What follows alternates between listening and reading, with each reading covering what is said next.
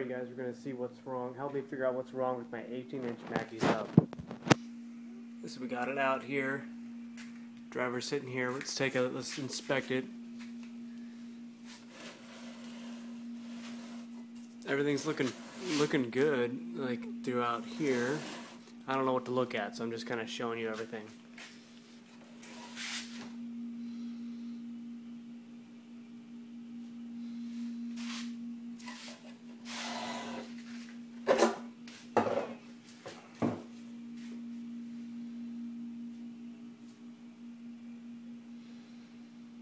I'm gonna press down.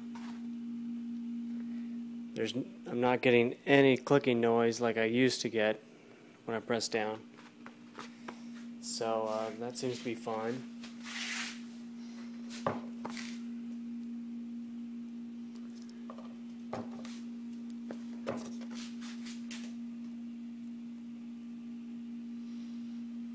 I think that's called a spider, but it appears to look great. Nothing wrong in there, it looks like, but so now let's check out the uh, hold on. Let's get the uh, let's get the ohms readings here.